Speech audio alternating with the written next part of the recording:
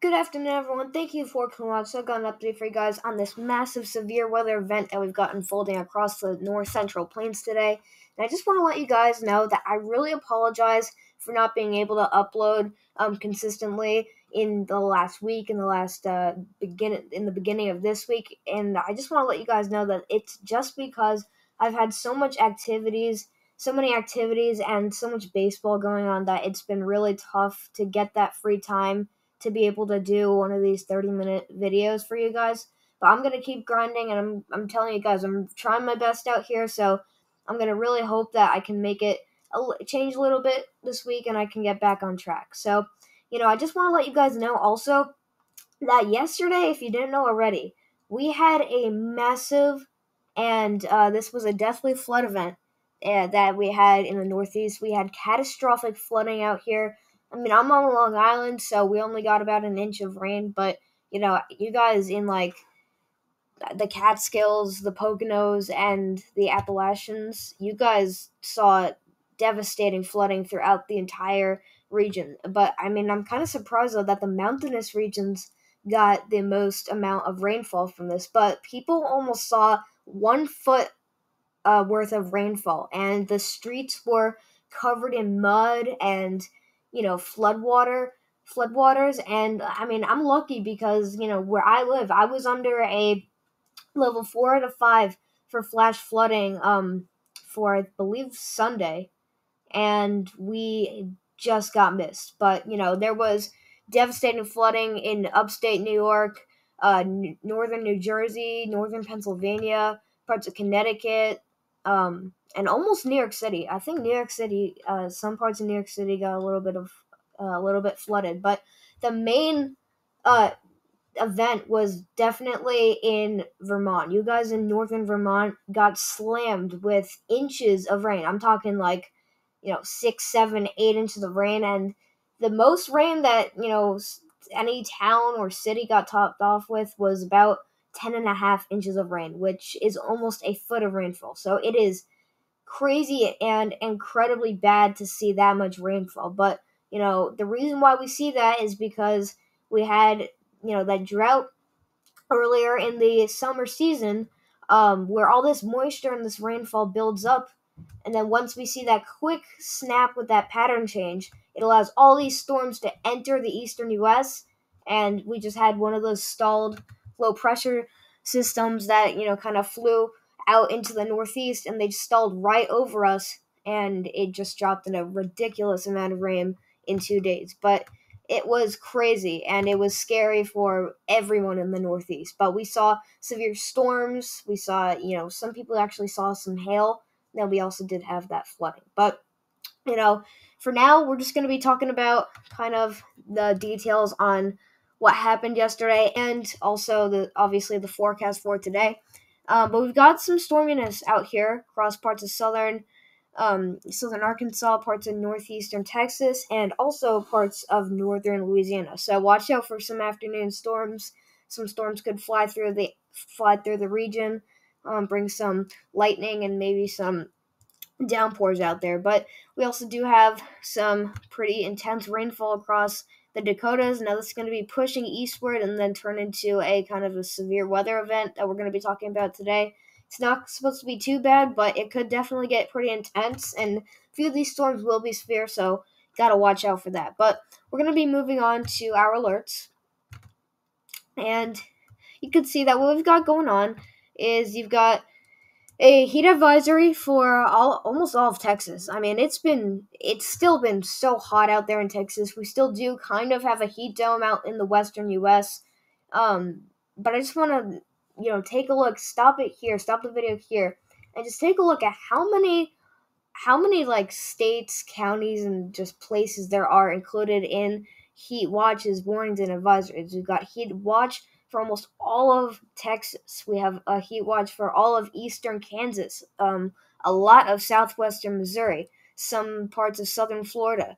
Um, and then we have this excessive heat warning for all of southern Nevada, a lot of western Arizona, and then parts of southern California. So this is a just a huge deal. You know, and when you hear heat, like just like really extreme heat, you don't really think that it's it's that big of a deal compared to severe weather. But I mean, we're talking highs in the upper, you know, like approaching 110 degrees and then into the upper 110s. It's brutally hot out there, and we're going to continue seeing this for the next few days. But we have a uh, excessive heat watch for stretching from parts of northern California down into uh, the coastal region of California. So it is actually a little bit uh, hotter and warmer near the coast. Um, and then once you get to like, I don't know if this is like the San Francisco area, um, or you know just wherever this is, but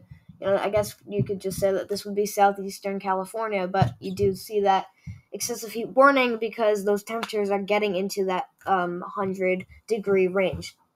So we're going to be moving on to our temperatures because we don't really have any other alerts for now. And you can see that, you know, for our highs today, you're in the hundreds for most of you guys in the southern U.S. Um, we start out at Florida in the southeast. You guys should be in the 80s. Um, and if you're a little bit closer to the Gulf Coast, you may see um, some people hit 90 degrees, maybe a little higher. You can see along the northern uh, areas of Florida, uh, southern areas of Louisiana, Mississippi, and Alabama, you're touching 94, 95 degrees. So maybe getting into those mid 90s for you guys. Um, we go out west. We're gonna switch it to 8 p.m. because that's kind of where the sun is up. Um, like that's midday for you guys. Um, because this is 8 p.m. Eastern time. Um, but you do see though that you have pretty much 110 degrees for all of southeastern California. You can see 108 right here. This pink and this like white, this is like 105 plus degree heat out here. But you can see, you know, what I mean about all of Central Texas, all, all of Texas being included in that heat, heat, uh, excessive heat watch. Well, or I think it's just a heat watch, but you know, you see here that you not only have the entire state in that watch, but you also have on the temperature map, everyone is in the hundreds except some pe- some of you guys up here will get into the upper 90s, but not quite touch 100 100 degrees. But I would not be surprised if you know pretty much all of Texas hit 100 degrees today. There is a little pocket of cooler air out here with well below average temperatures just around the DFW area. Um, and you're in the 70s, so it is very, very nice out. Um, actually, you know, there might be some humidity out there that's going to make the uh, air the air kind of feel sticky. Um, but otherwise, it's going to be very very nice out for you guys. Um, you guys in the central and northern plains, if you go way into North Dakota, you're in the 50s. It's going to be pretty chilly tonight, you know, especially tonight because this is you know 8 p.m. Um, but you see, if you're farther north, you're probably going to stay in the 70s. Maybe some of you will get in the 80s, and then um, you also see uh, the 60s for some of you guys. In the central plains, you're going to be in the upper 80s and lower 90s. Maybe some of you could get into the mid 90s, but I don't think anyone in the central plains is going to get 100 unless you're closer down to Texas.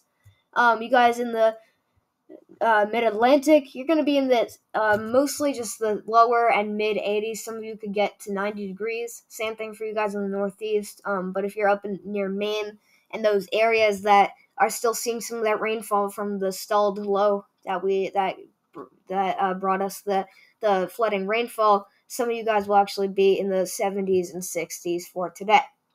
Um, and then lastly, for you guys in the north northwest U.S., um, you do have some pockets of cold air that have been bringing below average temperatures, but otherwise, it's been fairly nice. Um, I know the uh, MLB home home run derby just took place yesterday. It looked beautiful outside, and then we also do have the MLB All Star Game. So, um, you know, tune in for that if you're a sports fan. I know I'm a huge baseball fan, so I'm obviously going to be watching that tonight. But you know, if you, if any of you happen to be going to the game, well, it's going to be very very nice outside with temperature around 70 degrees. So we're going to be moving on to our uh, breakdown of what happened yesterday and kind of just last weekend. So we're going to be starting out on the first day of this very, very intense round of storms. So I know it says um, July 10th, which says Monday, but this was um the so this was the day one outlook for Sunday, which was the first day of this very, very intense round of storms. And so you could see we're up to a moderate risk for flash flooding, which is at least 40% of, um, you know, flash, of, of flash flooding, um, rainfall, risk of rain. It's in a, it's, uh, 40, it's an at least 40% percentage of rain, of a risk of rainfall exceeding flash flood guidance within 25 miles of point. So, you know, this was including areas like pretty much all of Vermont, few areas of western New Hampshire, down into parts of southern and upstate New York. And then you also do see a lot of eastern uh, PA. You guys were included in that. I believe Philadelphia, you guys were in that as well. A lot of northern and central New Jersey. This was including parts of uh, Long Island. Um, it was including New York City. Uh, down into the Delmarva area, uh, parts of Delaware.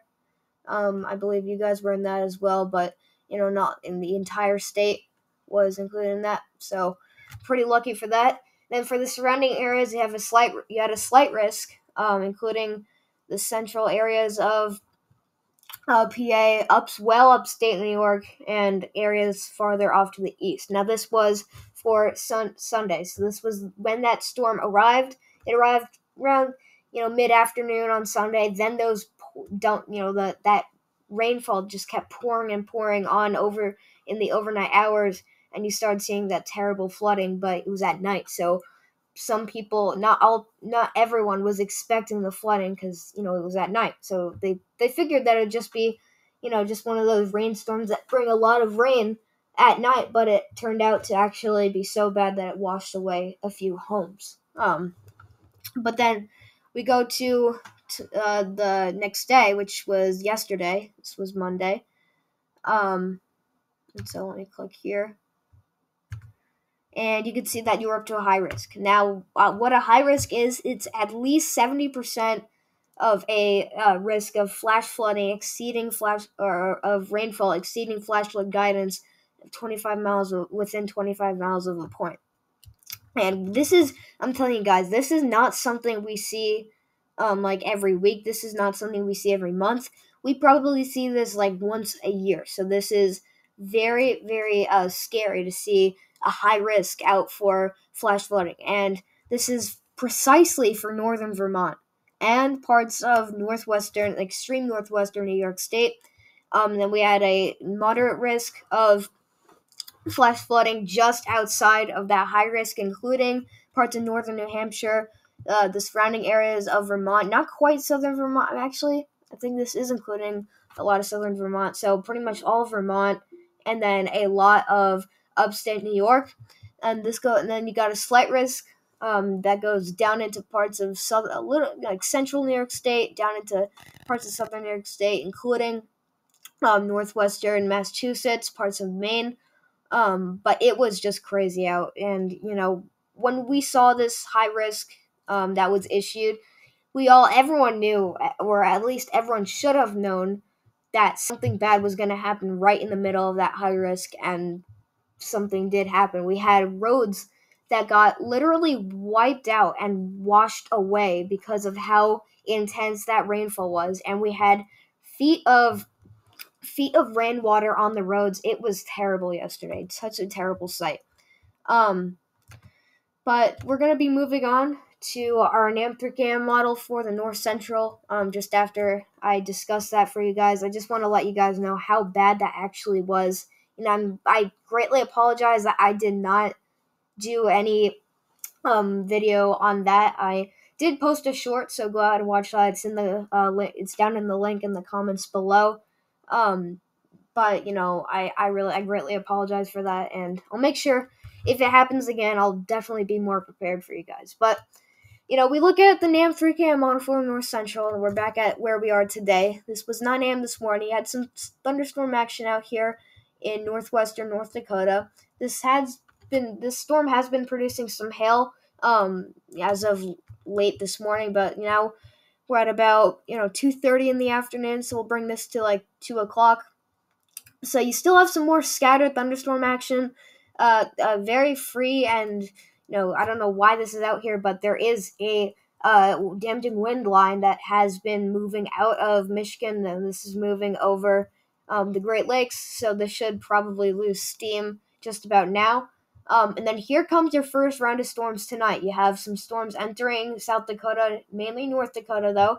There is a high pressure center battling right over it, but then we will see a low pressure center try and take over this. Now, the stronger storms is basically what this storm is gonna, what our thing for the storm is gonna be is we're gonna have to say the later it is, the stronger the storms.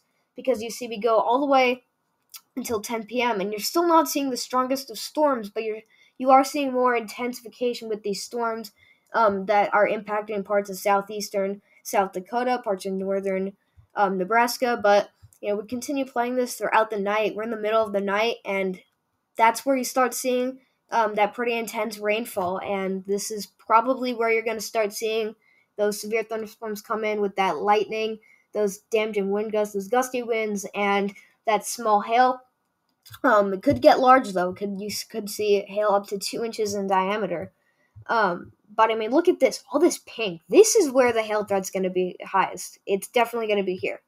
So we're going to stop it right around 3 a.m. in the morning. So I really think, um, based off looking, based on looking at, based off of looking at what the NAM 3KM model is saying, I think 3 a.m. is when you're going to start hearing those ping pong balls hitting your roof. But um, you know, if I had to put one hour on the money for how much, you know, what hour we're going to see the most hail in, I, it's definitely going to be 3 a.m. Because, you know, every other hour, um, you go to 4 a.m., it's still, you still see that hail threat. It's just not near, doesn't look as nearly as impressive as what it looks, what's, what it's to look like at 3 a.m. But, you know, we finally see this damaging wind threat start, you know, building up. And because you can see this line of storms is now bending out um, so you could tell that those winds coming up from the south are kind of bending the storm apart. Um, and then it's only to last a few hours, not until probably it's to fall apart until not until 6 a.m.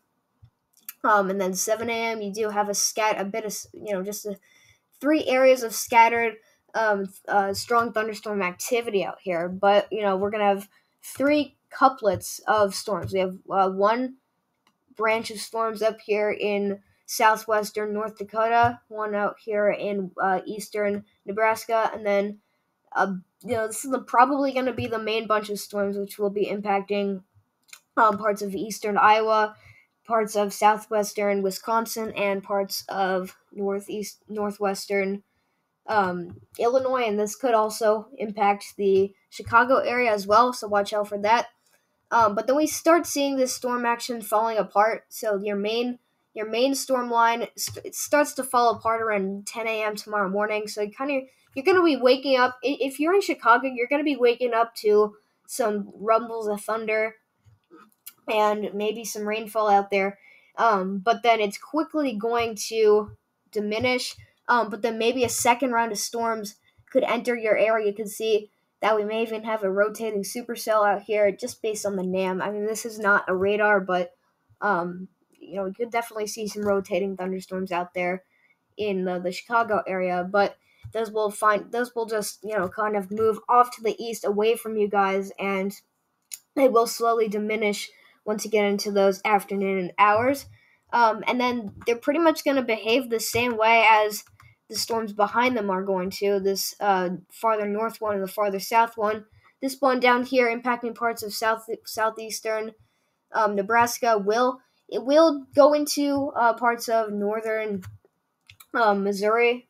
So we gotta watch out for some of those uh, thunderstorms that could produce some fairly large hail out there if you're on the border of Kansas and Missouri. Um, and then they're pretty much all the storms that are left except um, these storms uh, and rain showers out here um, closer to Wisconsin and Michigan. But you know, we will see some more this line, uh, some more of this storm action um, go down deeper into parts of the south central U.S. southern plains. Um, but then it'll quickly just diminish once you get into the evening hours of tomorrow. So that was round one. We go to round two. Um, and here you go again. You got another line of storms um, from pretty much that same area in Missouri, except it's a little bit farther off to the west. So some more of you guys in um, southeastern Kansas could see some of the storm action, but you'd have to be in like you know the middle of the night of tomorrow night. Um, and we get into the early morning hours of, I guess this would be uh, Thursday. Um, and you still see the uh, you know the storm off going off to the east, impacting parts of upstate New York. So pretty much all you're going to be left with with the second round of storms is this uh, bunch of storms out here in upstate New York moving off to the east, and then this line of storms moving down from parts of Missouri into parts of Kansas and Arkansas. So it's not going to be too too bad. You only got a slight risk up, so it's kind of telling you that you know there is definitely a chance for severe weather tonight. It's not going to be that high though, and um, you just got to watch out for some scattered damaging hailstorms and then maybe some damaging wind gusts in the mix with that. So we're going to be moving on to our storm prediction center. You can see that you got the slight risk out here for parts of uh, southwestern Montana. This is for today, so you know when you see Montana, you'd think that you know why why didn't I include it in the video? That's just because that you know you guys are you guys were the first ones to see it. As you can see, you guys are pretty much the uh, ones fought you know the most extreme western areas, including this slight risk. But this stretches down into parts of northeastern Wyoming, into parts of uh, western and southern South Dakota, a lot of eastern um, Nebraska, and then also a lot of western Iowa. Um, and then the tornado threat for today um, it's pretty much the same area as that slight risk, a little bit smaller though. Only a 2% risk for tornadoes. I don't think we're going to see any tornadoes today. It's a possibility though that you could have some rotating thunderstorms. Um, and the wind threat, probably the main threat of today. You'd have a hatch risk with a 15% risk uh, right in the middle of north northeastern Nebraska and parts of western Iowa. So watch out for some damaging wind gusts tonight. Same thing for that hail threat, except it's a bit bigger, so maybe you'll have more of that hail threat than that wind threat tonight. Um, but you can see it's pretty. That's pretty much the exact same area as the um, slight risk. So um, we're going to be moving on to our day two threat, our day two outlook, I should say. And you are up to a slight risk. So when you see a huge area in a slight risk, um, and it's covering a very big area with a lot of pop with a lot of largely populated areas. You could see an enhanced risk with this.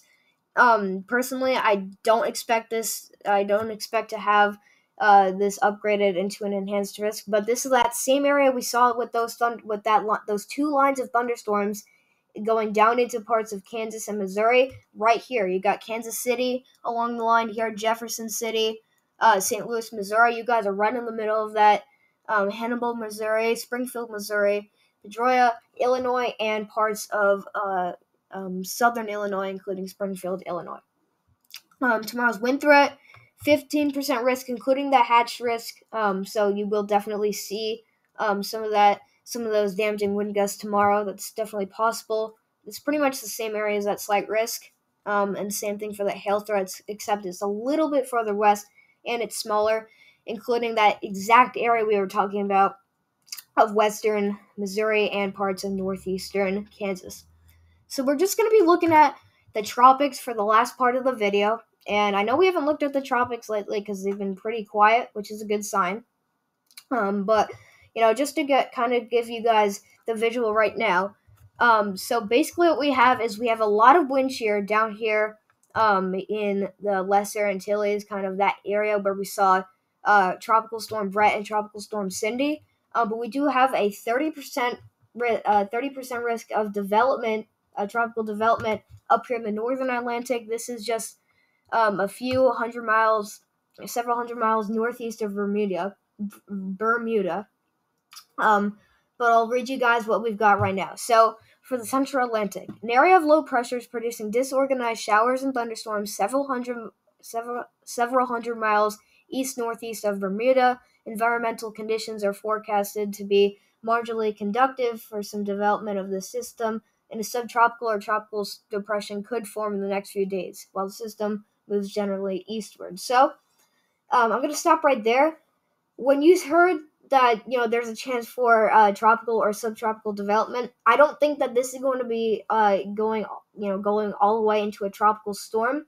I think if it does form a depression, it you know it has it may, might have a shot at getting a low end tropical storm Um, but I think it quite possibly could get a name. Um, but we still don't know that yet. It's still way too far out to kind of know and kind of forecast. But you know, I'm just telling you guys that there is a chance for tropical development. It just looks unlikely that it's going to get to a uh, considered strong status. But you know, you have uh, you have um, the low that will the, the, the low will turn northward, bringing the system over cooler waters by the weekend. So we will have uh, cooler waters, um, kind of where this storm is going to be by the weekend, um, and then uh, it will li- it will likely limit the additional development chances for this. So that's also another reason why we won't see that we probably won't see a tropical storm or well, we'll definitely not see a hurricane. We can get that out of the picture, but you know, that's why we'll probably not see a tropical storm. So we have a, a 30% chance of formation throughout the next 48 hours, and we have a, a 50% chance of formation through the next seven days. So we could definitely see um, this get a little bit higher. So we could see a 60%, maybe even 70% of formation in the next seven days. We just don't know that yet, and we got to keep watching this. So that's all I got for you guys. Thank you so much for coming to watch and um, have a great day.